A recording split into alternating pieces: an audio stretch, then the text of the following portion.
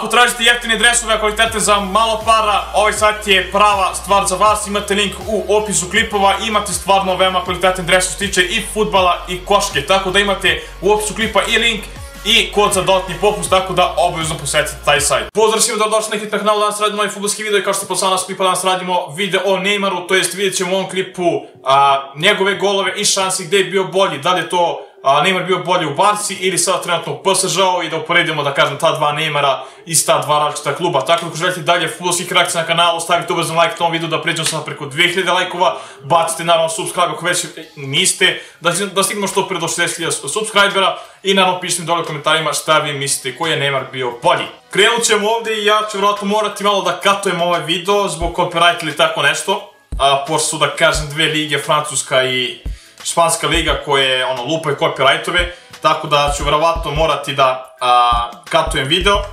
A što tiče samo Lijevara, znate spominjanje da, će da pređe u... A, uf, sjajan potez ovdje, kak, kak, kakva asistencija. Da će pređe, da se vrati u Barcu, tako da sam eto i odlučio da radimo video zbog toga. Sad vidimo Neymara iz Barcelone. A, iskreno mislim da, naravno gledao sam Neymara i u Barci, u PSG-u i ono, uku, a, bolji ucek mi je ostavio Neymar u Barci. Još je ne, njegov nevjerojatan poslije, gledajte ovo, uff, kako ga je brat bacio ovdje, kako ga je ovdje brat slomio. Gledaj kakav potez, op, o, je proklizao. gledajte ga ovdje, gledajte ovaj frame ovdje. Brać po zonu, jebi ga, pao sam, a sad si jednom sprdi zbog toga, Neymar me apsolutno brukao i stvarno jeste. A nema ono, video je brat šta je uradio i kako je prošao ovdje. A, gledajte, on nije ni pokušao da ustane jednostavno, tako da već mi bilo jasno kako je prošao opet, kažem, u PSG-u je možda bio mnogo zreliji kao igrač, znači iskusniji možda, ili je slabija liga bila pa je mogao da kažem da ima neke mnogo bolje potice, ali svako i u Barceloni gdje je liga mnogo jača je bio fenomenalan i u Barci ja mislim da li je to bila želja za dokazivanje pored Nesa i Suareza stvarno imao par nevjerovatnih golova i asistencija, drevni ga neću, da spominjem iskreno. A, Gledajte ga ovo, gledajte šta radi u Barci, znači ovdje je sprdo se bukvalno sa igračima iz odbrane, ja mislim da je postigao jedan fenomenan pogled protiv Reala.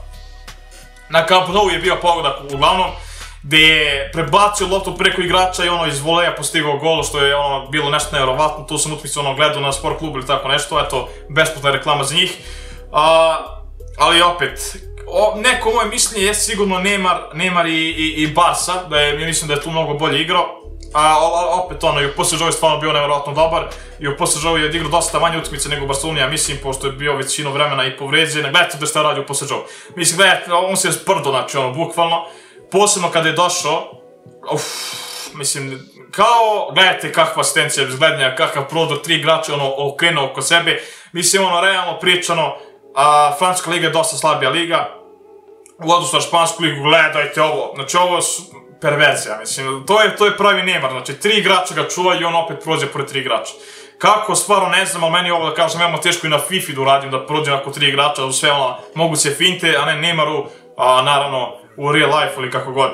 Imam opet sad Neymara iz Barse i dresa Barcelone, gledajte, on naređio četiri igrača, pet, no, mislim, nevjerovatno, ovo je čak i Liga šampiona protiv Juventusa ovdje, nikoga nije zaustavio, Gledajte vi ovo, nevjerovatno stvar nešto, opa, kroz noge jednom, gledajte opet dva igrača, lako keta, pa onda zadnja promjena kroz noge, perverzija, perverzija. E, to je ovaj gol, da, Villarreal je bio Camp Nou, znači ovo je fenomenalno da, mislim, ovo šta drugo se kaže, samo se aplodira i to je to, znači za ovaj gol sam vam pre rekao, istina bio je Villarreal, dobro sjećanje imam.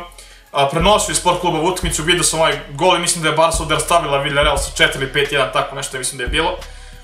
Gledajte ovo, dve finte. E, pravio je decu, znači decu im je pravio, znači decu im je pravio u odbrani. Nema potpred tu šta da se priča, više šta da se komentariše. tako da jednostavno, da li će opet da bude ovako, kad se bude, ako se bude vratio u Barcu, stvarno ne znam, ovdje vidimo protiv Marcela. Znači malo igrača može da okrene Marcelo ovako, zato što je sam Marcelo a zna ove finte, zato što je sam Marcelo pokušava ono, da skine Neymar u nekom delu i ono, Marcelo je sjajan tehničar i defazivac, tako da kada okrenete ovako Marcela kao što je okrenuo Neymar je ono, stvarno nešto svaka čast.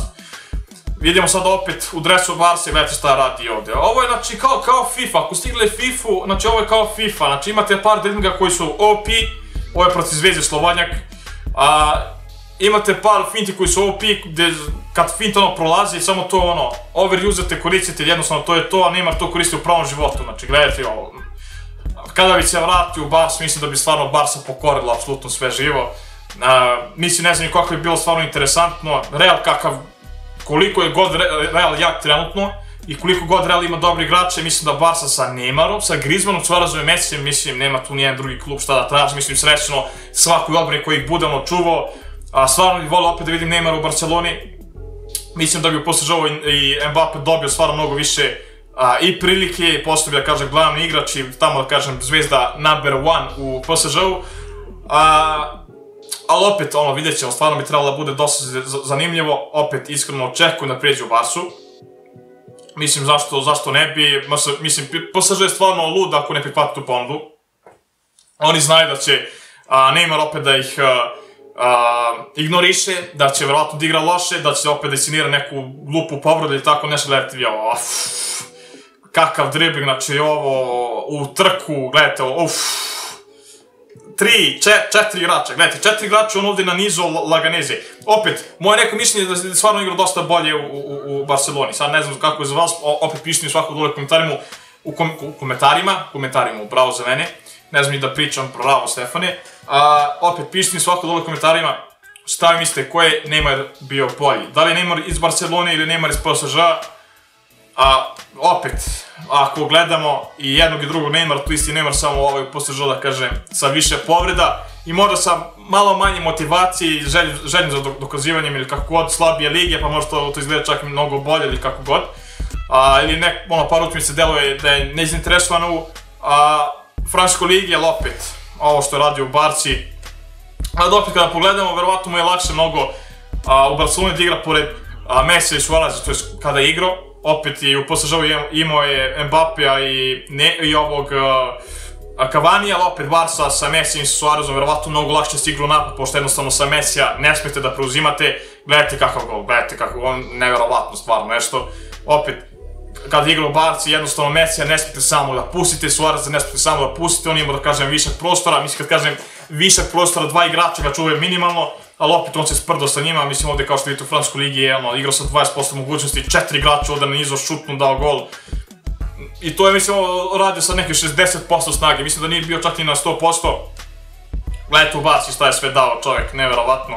Mislim da mu je ono velika greška što je tišao iz Barse, jebeš novac ako ono, imaš uspjeh sa Barcelonom, ako, ako ti je tu Messi i Suarez, jednostavno Barca je mnogo veći klub da se ne mnogo veća liga, mnogo više navijača ima Barcelona, mislim da je to bilo skroz nepotrebno, ali opet, kako on to rekao, želeo da vidi kako će da prođe ko neko će da vodi tim, to nije baš ispalo najbolje, pošto jednostavno rezultat Ligi šampiona sa psg nije imao neke, kažem, dobre rezultate.